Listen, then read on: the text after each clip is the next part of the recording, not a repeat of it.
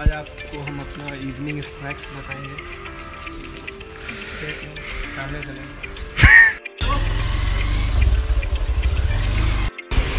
तब क्या चल रहा है? जिम चलना है कि नहीं? हाँ यार आज तो शोल्डर हाँ। इंशाल्लाह। शोल्डर ट्रेन करते हैं इंशाल्लाह। स्नैक्स में